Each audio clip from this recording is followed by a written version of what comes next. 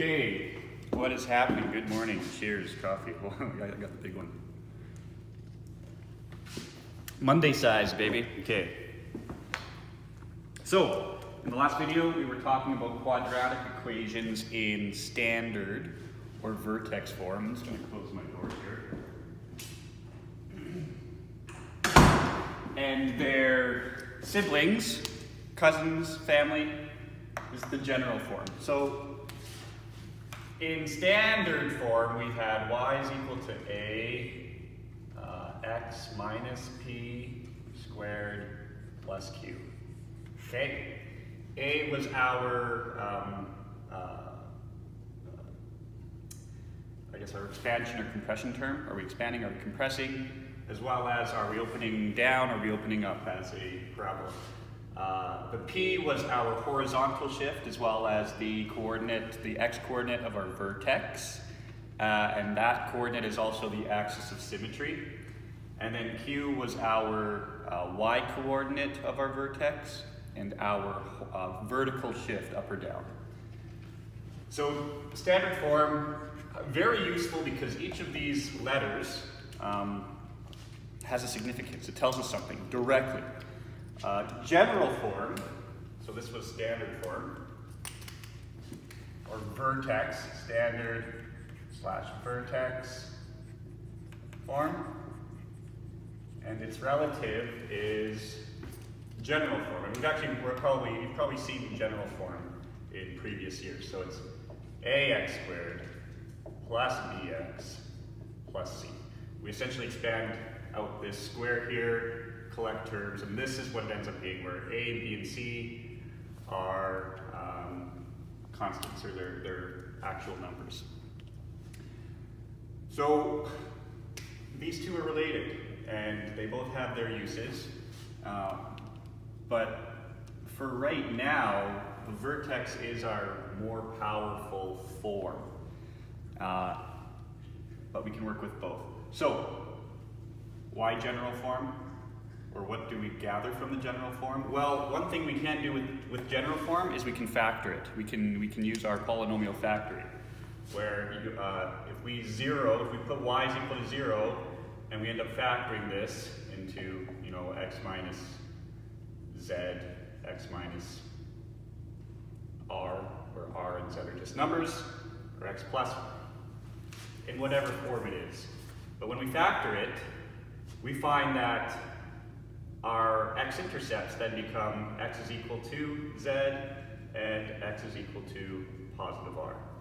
Because if we try and solve for x in this equation, well, if we divide out this x minus r here, you know what, I'm going to use regular numbers just to make it more clear. So I had x plus 2, x minus 3. These are my factors that I found from a general form.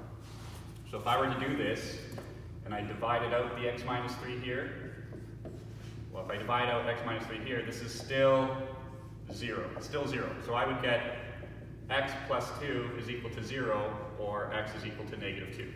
So x is equal to negative 2, and then if I did the same thing, but instead of getting rid of the x minus 3, I got rid of the x plus 2, x plus 2 here, I would have 0 is equal to x minus 3 now, and x is equal to positive 3.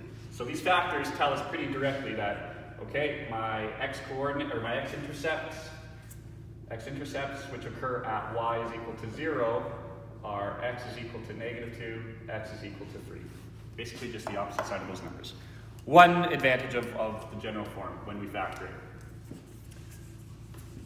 But we can use the general form because we actually have a formula that allows us to convert between um, between, well, to, to gather these letters from this form. And those equations are uh, P is equal to negative 2 B over A. So if I have these values, I can figure out what my P is. So this is a very important equation. And if I have P, then I can say Q is equal to C minus AP squared.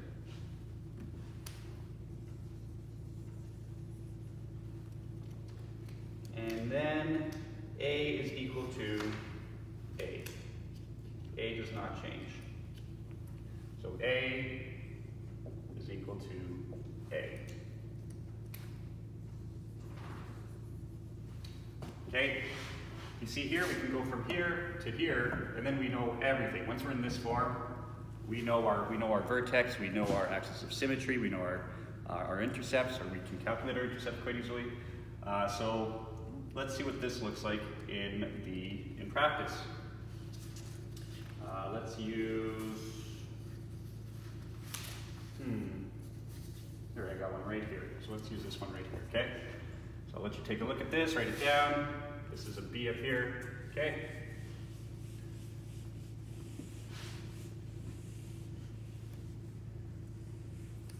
So say I have an equation of the form y is equal to x squared minus x minus 6. Okay? So first thing I can do right here is I can, I can say, okay, well, I can factor this um, to figure out, so if I make y is equal to 0, this is equal to x squared minus x minus 6. Factoring is something we did in grade 10. I'm not going to get into it too deeply right now because it's not the purpose of this, but um, I could say, okay, what two numbers multiply to negative 6 and add to negative 1? Well, as someone who's done this a lot, I can tell you it's minus 3 and positive 2. Okay, so I can put in here x minus 3, x plus 2 equals 0. So my x-intercepts are 3 and negative 2. This is where my curve is going to cut through the x-axis. Okay, so I'm going to, x-intercepts for this guy, x-intercepts is equal to 3 and negative 2.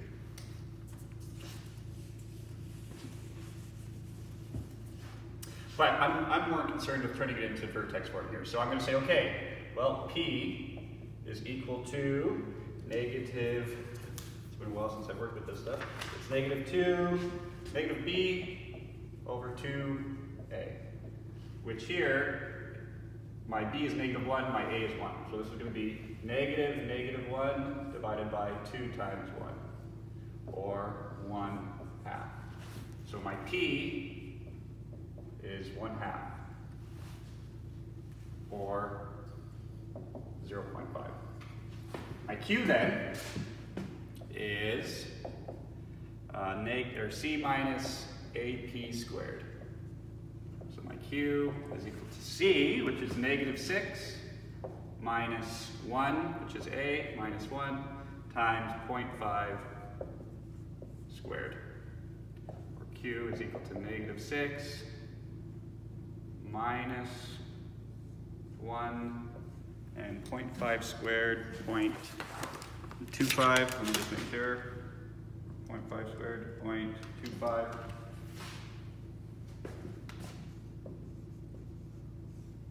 So we get Q is equal to negative 6 minus 0.25.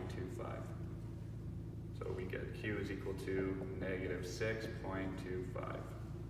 Okay, so I have Q, I have P, and I know that A is equal to big A, so A is equal to 1. So I take all these points and I put them back into my equation for standard vertex form. So this will become, where should I write it? I'll write it uh, right here. So my vertex form, back in red, will now be y is equal to x minus p. So this has to be, uh, if it's positive 0.5, it should be negative 0.5 here, which is perfect squared minus 6.25. Q, P. Remember the, the sign is opposite here. So if we have a positive P, then it's going to be minus P in here. If it's a negative p in here, we're going to be positive p in here. So here is my, and that tells me that my axis of symmetry occurs at x is equal to 0.5 or x is equal to p, that's my axis of symmetry. My vertex is at 0.5, negative 6.25, and I know my x-intercepts, so I have them up here. My y-intercepts, or my y-intercept, occurs when x is equal to zero.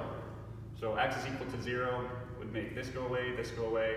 So my y-intercept is y is equal to negative six. And that's pretty much everything I need to calculate for this guy. And that's and that's why we like vertex form, is it's just easier to, uh, to work off of. Now the next step in this is to actually use the uh, completing squares method to go from general form to vertex form, uh, sometimes it won't be as straightforward as this. Uh, and that's what we are going to be moving into next. But yeah, so, so far it's, it's that, that's it. So if we want, we can do one more example here, just to show us how it works.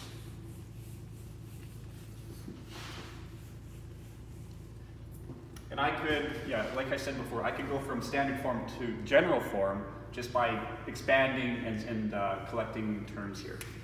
Uh, but say I had general form of negative 2x squared plus 6x minus 9. Okay, I just pulled this one out. This probably doesn't factor nicely, which sucks. Um, I'm not even going to try to factor it, because I don't think it's going to work. But let's just go into standard vertex form right away here. So uh, I know that P is equal to negative B over 2A, which is equal to negative 6 over 2 times negative 2 is 6 over 4, or 3 halves, or 1.5. And Q then is C minus AP squared, if I'm not mistaken. So that's equal to 9. This is not a Q, this is a 9. 9, the number 9, not a Q. Uh, so it's not negative 9 minus negative 2 times 1.5 squared, which gives me negative 9 minus negative 2 times 1.5 squared, negative 4.5.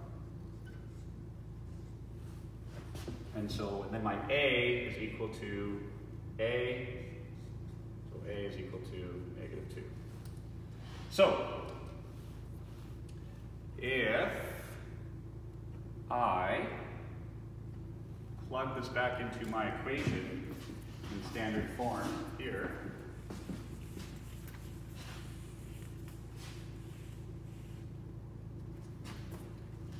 put it right here, I get y is equal to negative 2 x minus p, and p is positive, so it's x minus 1.5 squared uh, minus 4.5. Okay?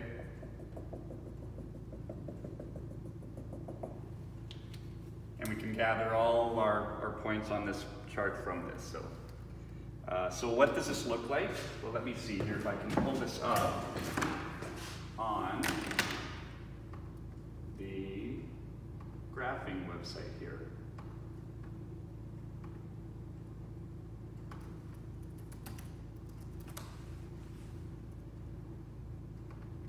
So,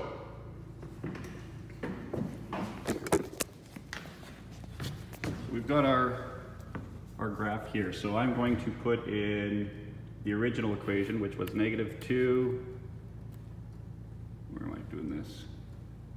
I'll put it right here. So I've got negative 2 to the power x, whoops, It's negative 2 x to the power 2 plus 6x minus 4.5. Okay? And there it is. There's the chart. It's uh, 1.5 is where its x-intercept is. And that's where its axis of symmetry is, which makes sense.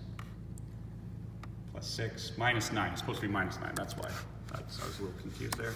Minus 9, so there we go. Okay, now I'm going to put in our vertex form now of the same equation and see if it turns out to be the same. So we got negative 2 x minus 1.5 squared. And then, so we're already, so right now, as of right now, you can see that that's the, uh, we're up here, that's our, so let's see if the, adding that, now that transformation of ne negative 4.5, there we go. As you can see, we only have one, one chart shown up here. And if I were to delete the first one, here, you'll see that we'll still have the other one sitting there. There we go, she's still sitting there. So that proves to you that those two are the exact same equation, okay? So, that's me, thank you, we'll see you next time.